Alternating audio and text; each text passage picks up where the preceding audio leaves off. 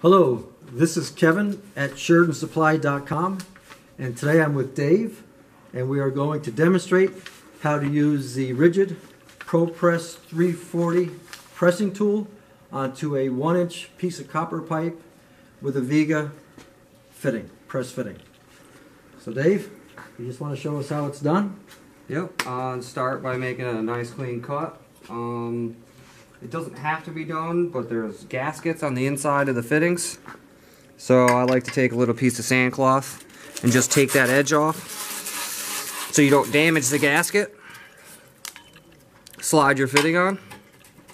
Make sure it's seated all the way.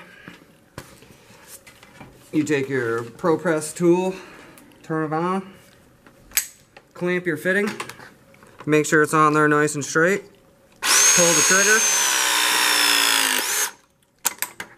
and that's it. It's as easy as that. Okay, thank you Dave. We appreciate that demonstration. And don't forget, at SheridanSupply.com we can provide you with the Ridgid tools and all the copper pipe and fittings you will require. Remember folks, time is money and we can save you both.